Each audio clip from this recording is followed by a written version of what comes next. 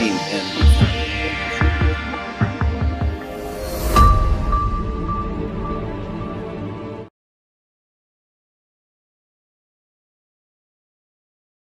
know we've covered a lot, but I just wanted to see if I could circle back to each of you for any final closing remarks you'd like to share with our attendees today. And Jim, we'll start with you.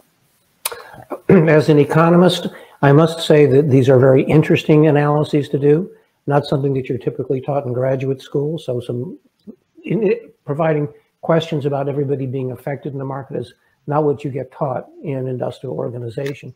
But it is really interesting to be able to apply the tools the economists have developed over the time to answer this unusual set of questions that are posed by arguably an unusual set of laws here.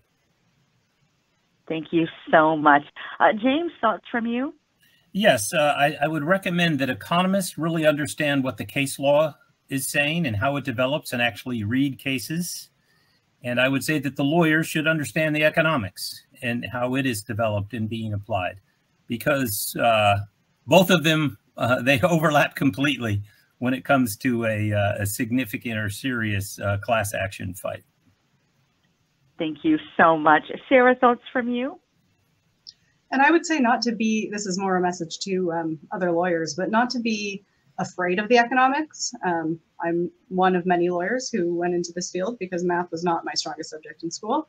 And so sometimes we get into the economics and we're totally lost or confused by it. Um, but when you get into those weeds and talk to the economists and learn that that information, it's it's very helpful. Um, and also to think of the big picture, because at the end of the day, this, there are victims here. When we're talking about overcharges, it can be consumers who are paying too much for their bread or their soda or their pizzas. Um, and thinking about who's actually affected by the conduct that we're talking about can help us remove ourselves from the difficulties of the weeds and think about why we're here. One of the um, the lessons that comes out of all this is how important your experts are at the class certification stage.